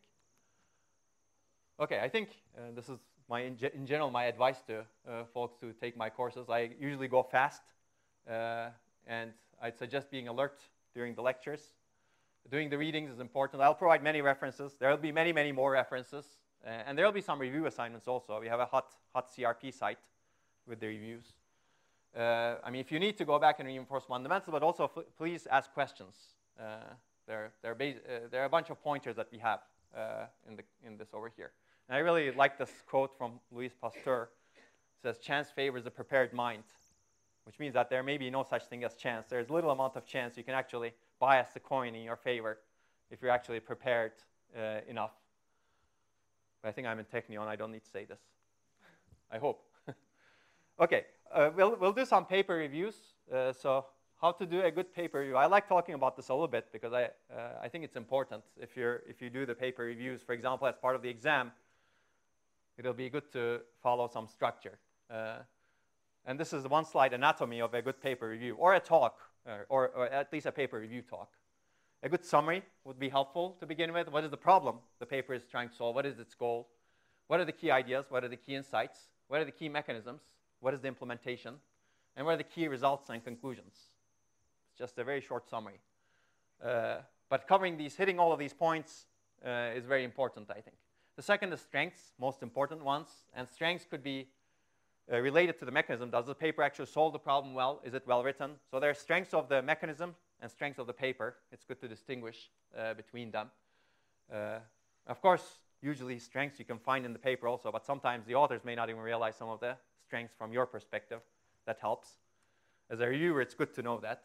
Uh, unfortunately, I have a lot of issues with the current review system, so we're not going to go into that in, the, in the scientific community. we should fix the scientific community. Maybe we need lectures like this for a scientific community to begin with. Uh, okay, weaknesses, I think, especially for this course on critical thinking, this is really important, uh, focusing on the most important weaknesses. Every paper has a weakness. This doesn't mean that it should be rejected. This doesn't mean that it's wrong or something, but it's good to think critically about those weaknesses. Uh, this doesn't mean that the paper is bad, for example. It means that there is room for improvement and future research actually uh, can accomplish this. So this is where people can think critically to actually develop new ideas. So it's good to focus on that as well. Uh, and then thoughts and ideas. Can you do better? It's, it's, I'm always interested in ideas, so if you have ideas, I, would be happy to talk about them. Takeaways, what have you learned, enjoyed, disliked? And discussion starters and questions. If you're doing a paper review, like we're not going to do that in this part course. You're not going to give talks uh, and uh, give talks about papers, but uh, that's always good, discussion starts and questions. You can actually have a review that's short and concise. If it's a talk, it's about 20 minutes or less than one page. I don't want to read pages and pages of paper reviews. And this is, if you're giving a talk, I think this is the suggested uh, discussion format. I, I, teach seminar courses sometimes, and this is what I suggest uh, to students in terms of, yeah, you spent 15, 20 minutes in terms of the summary over here, and maybe 10, 15 minute critique. But you can use this blueprint as a blueprint for doing the reviews for the course uh, or the exam as well. Okay, there's more advice on paper review talk. Uh, I think being very critical is important. I think this is how things improve basically by being critical and uh, figuring out better ways of solving the problem or related problems, questioning the problem as well. That's also important. Of course, that's how you learn, right, in science, uh, by reading background papers. Okay. Okay, we will actually provide a few sample text reviews uh, online Maybe Roman already put them up. I don't, I'm not sure yet. But I think one thing I, will, uh, I, would recommend people avoid in general in their reviews, and this I see actually in the review process of conference also, is these rat holes. This actually, does anyone recognize this? This is a not so nice uh, representation of a very famous book. Does anyone recognize this book? It's actually one, of- one of the favorite computer systems performance analysis was Raj Jain, and this is a page or part of a page from that book that I found online from one of his lectures. And basically, he points out 20 different things that uh, people can uh, rat hole you into in a discussion or in a paper review whenever you do some performance analysis. Basically, they can always question the workload. Oh, okay, you evaluated these 2,000 workloads, but it doesn't work for 2001. And that's a rat hole, basically, at that point, because you didn't evaluate it, right? You can reason about it, but you, know, you never evaluate it. You're not going to get out of that rat hole. So acknowledge it and move on, as opposed to being uh, in that rat hole. Metrics is another one. Well, you evaluated these 500 metrics, but there's this 500 first metric that I care about.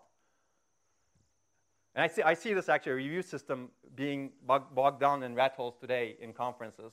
I, I like talking about these rat holes, but this was actually a book that was written in late 1980s, I think. Uh, okay, configuration or system configuration. You evaluated these 500 configurations, but you didn't evaluate 501 configurations. So you see what I mean, right? I think it's really uh, good to study these rat holes and be aware of them so that when you're doing reviews, you don't go into the rat holes and you don't push the discussion into the rat holes also. I wish there was a way to control the reviewers so that they don't go into these rat holes also. Okay, but I would definitely recommend this book if you haven't really uh, studied it. Uh, this is a very nice book, and find that page with the rat holes with a much better drawing of the rats. okay, I also uh, recommend uh, one, of, one of my older colleagues, uh, um, well, one of my colleagues in my old institution, Kayvon Fatahalian, has this nice uh, PDF that talks about how to give clear talks. I agree with a lot of the advice that is given over here. These are some of the principles that he has written. Every sentence matters. The audience prefers not to think. I agree with this. Uh, basically, give them what you want them to receive as opposed don't them, don't make them think because while you're talking, if they're thinking, there's a problem. They will lose you. Surprise are bad. Uh, yeah, explain every figure, graph, or equation. Yeah, and the audience is always right when improving the talk. Actually, I like this uh, the most, perhaps. Uh, who painted this painting? Cover this. There's a side channel here that that you should not look at. Any guesses? Now that you've seen the side channel, very famous painter. How about now? Oh, it says Dali. You found it. Sorry. this is when he was young. What about this one? It says Dali, right? yeah. about uh, later. I mean, he didn't live for that long. So, what's the point of this? Basically, the takeaway is learn the basic principles before you consciously choose to break them. Apparently, the young Dali learned the basic principles by painting someone else. It's not him, by the way. And he broke all the principles later on in life, as you can see. Okay, I think it's really important for doing the reviews also. Uh, okay, there are a bunch of readings, videos, and reference materials. As I said, uh, some of these we're going to cover. Actually, when we talk about processing in memory, uh, this is a recent paper that we've written enabling the adoption. We talk about a lot of adoption challenges of processing in memory. Uh, we can uh, I'm going to recommend that. This is a relatively old paper that I keep recommending still, since we didn't update it recently. And we're going to cover this also. And uh, we, will talk about memory scaling a lot, especially in the next lecture. And this is another paper that we may cover in terms of flash memory scaling. We'll see how the lectures go. We're going to dynamically schedule a bunch of things depending on the topics and interests of people. Uh, and these are some related videos and lecture materials. There are some open source tools. Uh, actually, we'll talk about Ramulator later today, for example, and I'm giving give you some assignments related to that, uh, and a bunch of more. Okay, all reference papers are available. Hopefully, are going to be available over here, but you can also find them on my website. So grading, I'm not a big fan of grading short courses, but there will be a final exam uh, for those of you who take the course. Others are welcome to take the final exam, but you may not enjoy it as much. uh, it's going to be two hours. Hopefully, it'll be fun. Uh, and I will also uh, recommend that you do at least three paper reviews, but more than uh, more is recommended. We have the HotCRP website. That'll prepare you for the exam, also perhaps. And participation is strongly encouraged, of course since all of you are here, it'd be great if you participate. And that's the end of course logistics. Any questions? Yes?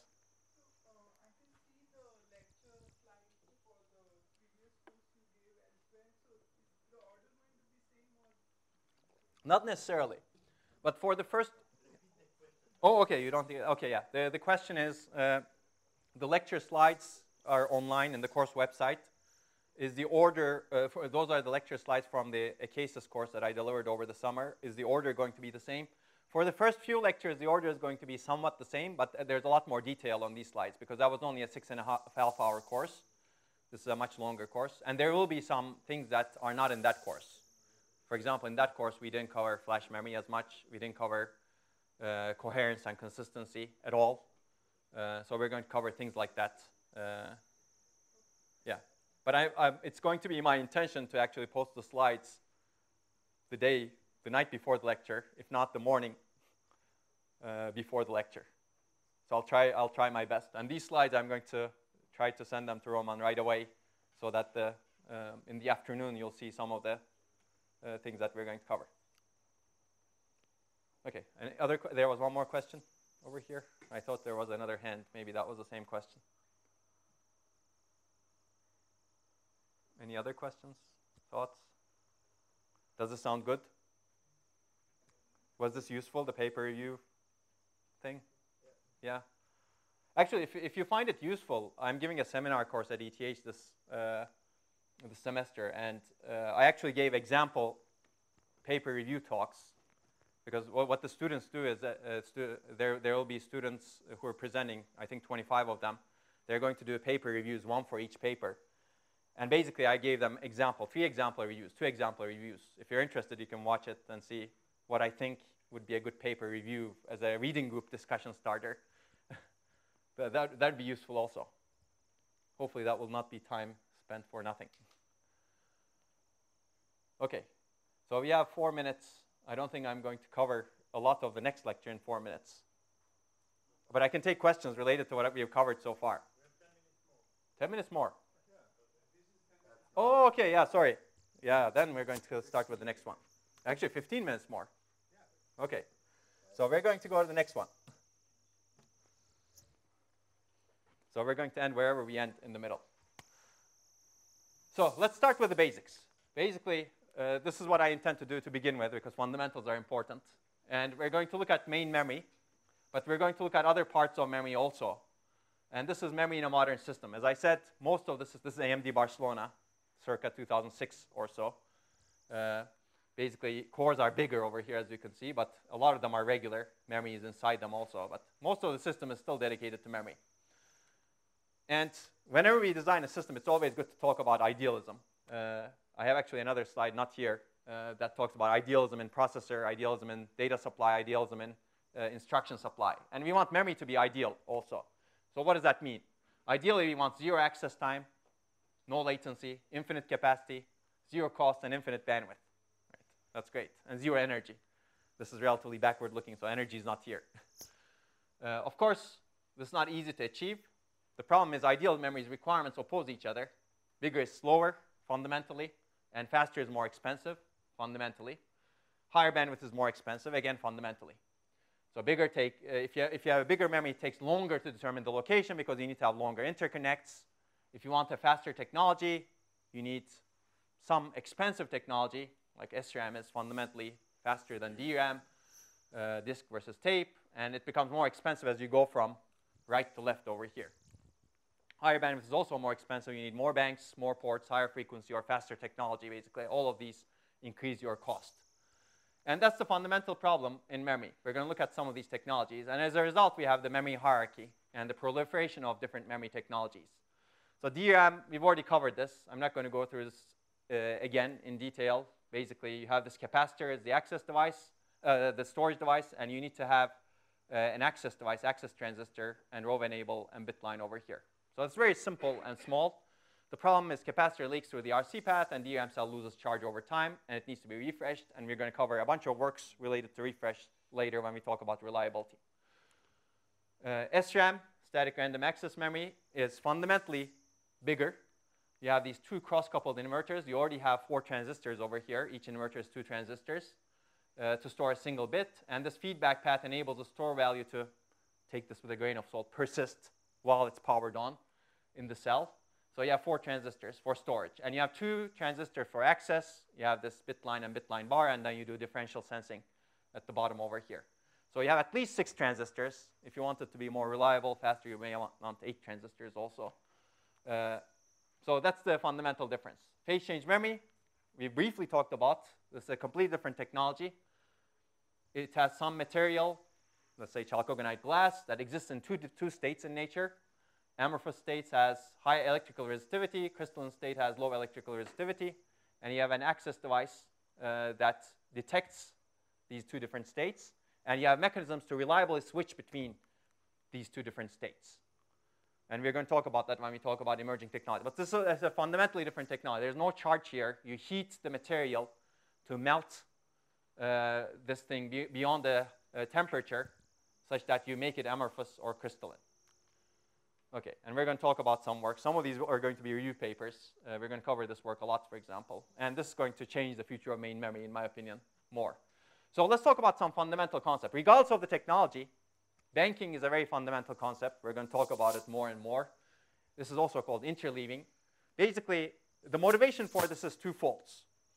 Uh, one motivation is you need to enable multiple accesses in parallel. And if you have a single monolithic memory structure, you cannot access it well. There are multiple solutions to that problem, but one solution is banking. You chop the monolithic memory structure into multiple pieces and enable parallel access or pipelined access to different pieces. That's the idea of a bank. That's the application level motivation, let's say. And this was developed uh, especially for supercomputers. Cray 1, for example, had banked memory. It had an 11 cycle memory access latency to each bank, and it had 16 banks because they wanted to ensure they could get one word out of each bank every cycle.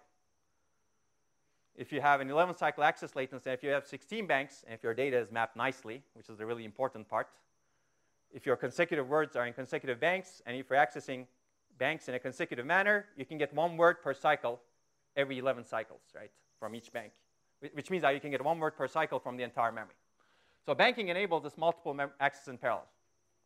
But also there's a design perspective as to why banking is important, because if you design a single monolithic memory array, uh, and if you want to increase the capacity of it to be large, it takes too long to access. So fundamentally, as a designer's, hardware designer's perspective, you also want banking. You want to chop this memory into pieces and enable different uh, accesses to it, uh, not necessarily in parallel, but enable separate accesses to it. And this essentially gives you multiple banks. This gives you lower latency because your interconnects are shorter compared to a huge monolithic array. So I like this. Banking is very fundamental because it's driven by both applications as well as the hardware design. Uh, so the goal is to reduce the latency of memory array access and enable multiple access in parallel. And the idea is basically you divide the array into multiple banks, partitions, that can be accessed independently.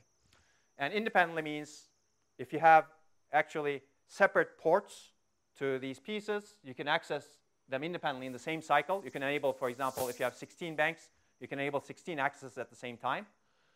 Or if you're more limited by the ports because you may be off chip, then you actually share the ports, address, and command buses between these different banks. But you can start access in one bank in one cycle, in the next bank in the next cycle, in the next bank in the next cycle. That way you can pipeline the access and overlap most of the bank, bank access latencies it's not as good as accessing, having, having separate ports to the banks, but you have some other requirement that dictates your cost. So in DRAM, because DRAM is off chip and you, you, you actually are very much limited by the number of pins, the banks are not completely independent of each other. The banks actually have dependence because they share the command and address buses, uh, as well as the data bus, actually. As a result, you, you need to access the banks in consecutive cycles. Okay, each bank is smaller than the entire memory storage, and access to different banks can be overlapped. So hopefully these are basics. Does everybody know about banks here? Memory banks? Okay, don't be shy. Who doesn't know? Don't be shy. Okay, that's good. Then I'm spending some time. That's good. Okay, an issue is how do you map data to different banks, of course. Uh, how do you interleave data across the banks? Uh, so if, if you have 16 banks, uh, and if your consecutive words in memory are in consecutive banks. Word 0 is in bank 0, word 1 is bank 1, word 2 is bank 2, dot, dot, dot. Where 16 is in bank 1 again, bank 0 again. If your processor is accessing addresses such that it's accessing address 0, address 16, address 32, address 48, you have a problem. You have 16 banks, but you're always accessing one bank. Right? Now, whose fault is it? The fault could be your interleaving scheme, because you didn't really map interleave the data nicely. Or the fault is in the processor, right? The processor should not be accessing things like that. You can blame the compiler also, yeah. So this is uh, not an easy problem. Uh, to, to make, uh, if you take it as hardware's fault, people actually have designed randomizing mechanisms. To, when you get an address, you basically uh, take it through a hash function, and that hash function determines which bank that address maps to. And that hash function could be randomizing. And we're going to talk about some works, like uh, one of the seminal works in this area is an ISCA 1991 paper by Bob Rau, pseudo-randomly interleaved memory. And he basically talks about matrices that can actually make this hash function more random. But of course, that increases your access uh, latency to memory. But that gets rid of a lot of the bank conflicts. But now, of course, it's much, much harder for the software to reason about how to map its data across the different banks because it needs to take into account this randomizing hash function. So how do you eliminate bank conflicts is important whenever you have banks. And this is going to be an issue at any part of the memory system because bank conflicts actually delay requests quite a bit. Okay, so this is what a bank looks like in hardware. Basically, you have a two-dimensional storage array. Uh, in each XY point, you have a cell, a single bit cell. It could be a SRAM cell, DRAM cell, phase change memory cell. It doesn't matter. All memories actually look like this two-dimensional storage array so that you maximize your uh, area. And uh, as you can see, there's a row decoder over here. Whenever you input, you input the address. It gets latched into an address register. This is an example. Uh, most significant bits are decoded. They identify your row. And then you access the entire row. You decode the row address, which drives the word lines over here. And the selected row drives the bit lines. This could be, let's say, 8 kilobytes. So you read the entire row down to the sense amplifiers. Over here, we we are going to talk about DRAM. You amplify it, you figure it out, and then the least significant bits of the address dictate which part of the row that you need. This could be 8 kilobytes, but you may be interested in only one cache line, 64 bytes. And the job of the column decoder is to take it out and send it to output. And actually, in a real bank, uh, you actually take about eight bits or so from here, and then you aggregate data coming from many chips, as we will discuss in a little bit, so that you make uh, 64 bits out of the chip. Okay, and then once you're done with the access, you need to pre-charge the bit lines, uh, which means I prepare the array for the next access. Question? No, I, am looking for a subarray. Subarray. Oh, there's no subarray here. This is bank. Yeah, we're not at that abstraction level yet. Yeah. So he's mentioning, oh, this is uh, so this is the bank abstraction, but this, internally this is actually broken down into smaller pieces.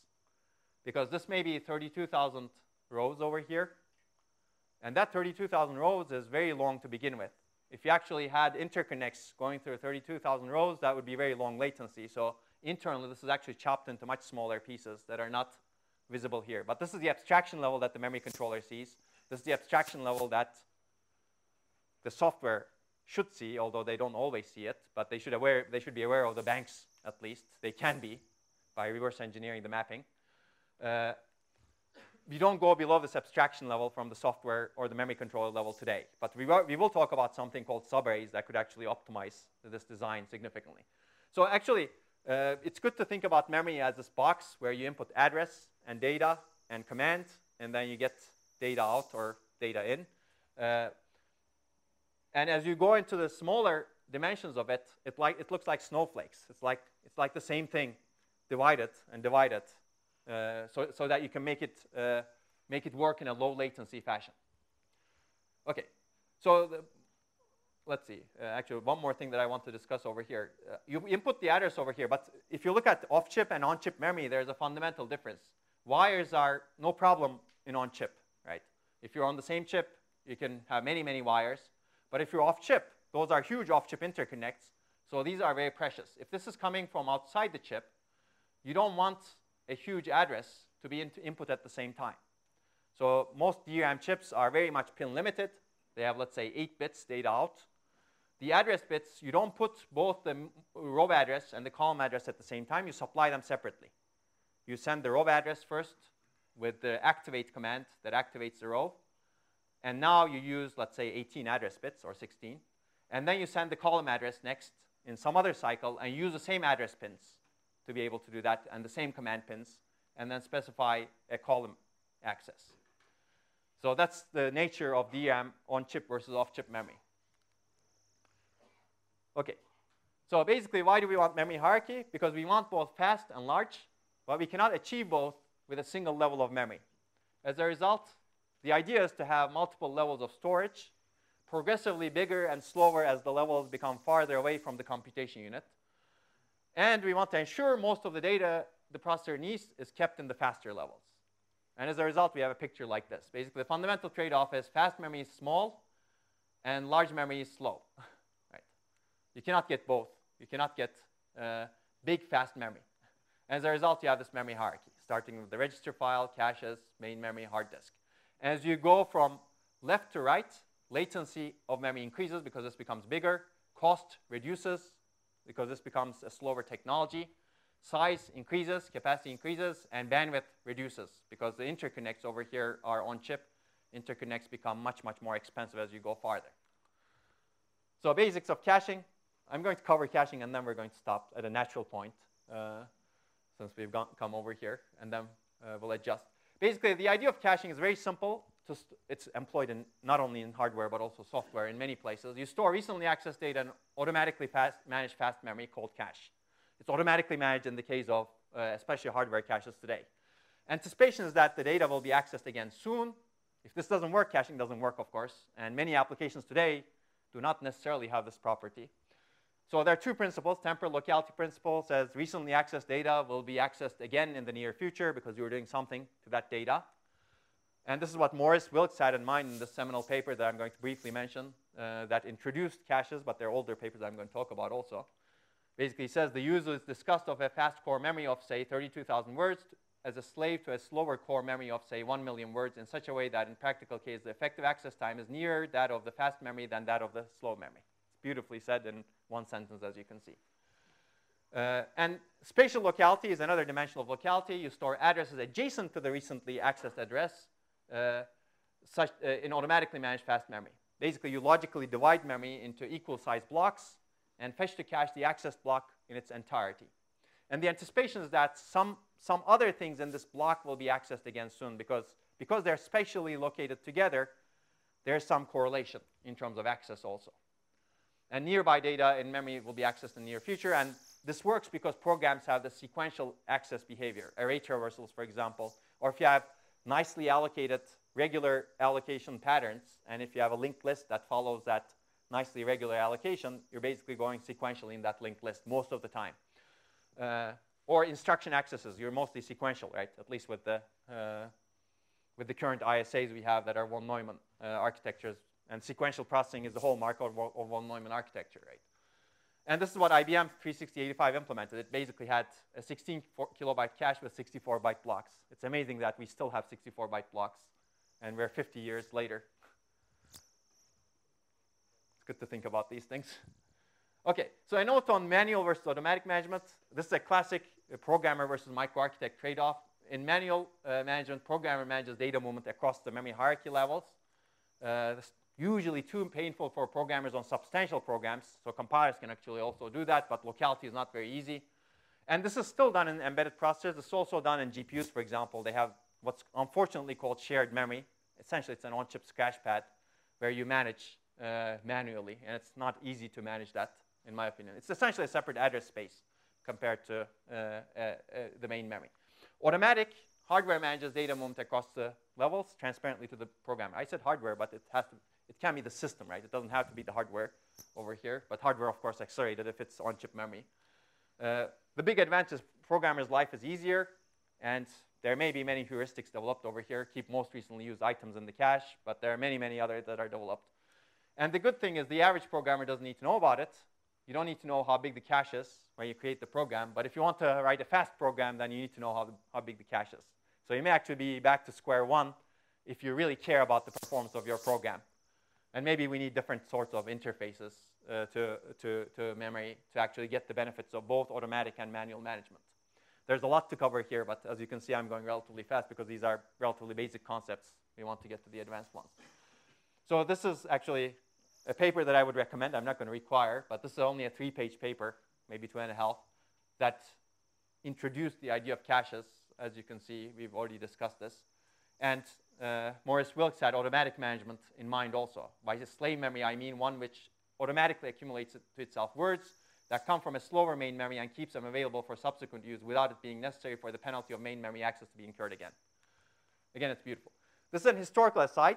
Uh, I actually like looking for the original source of uh, anything, if you will. This is in caches also. There's some debate in terms of what's the original cache paper. Maurice Wilkes paper is definitely not the original cache paper in terms of hardware caches. And this is more of a storage cache, which is really interesting. But this one, uh, uh, this one that uh, we found with my students is one of the more interesting ones. This was this from the National Cash Register Company in 1962 NCR. They basically wrote this paper, and this is a picture from that paper, which actually they called their leukocyte. But this is essentially a cache. Associative address, this is a tag store, this is the data store, and this is the data buffer register, and this is analog they, they call this analog usage indicators, meaning these are whether you've actually touched this data recently. And this is basically a hardware cache that they developed. And this is the most original paper that I could find, at least in the languages that I know of, which are not that many. Okay, I'd recommend this paper, but it's not required for this course also. So a modern memory hierarchy, essentially, well, this is the memory hierarchy from maybe 56 years ago now. A modern memory hierarchy looks like this, but it's a little bit more embellished. Basically, we don't have one level of cache, but we have many, many levels of caches, and we have automatic management in most of those levels over here. We have the register file, which could be considered a compiler or manually managed cache for the address space that's down here, main memory. And we have actually DRAM as a cache for the swap disk also over here that's managed by the system uh, with demand paging. So this is the hierarchy that we have today. Uh, okay, maybe what I, what I will say is it's good to think about, okay, this is 56 years ago. This is today. We keep adding all of this complexity. Is it going to end, or is it, is it really buying us performance? Okay, uh, this is a really natural place to stop. So this is where we should take a break, and we'll start back again at 1, I think.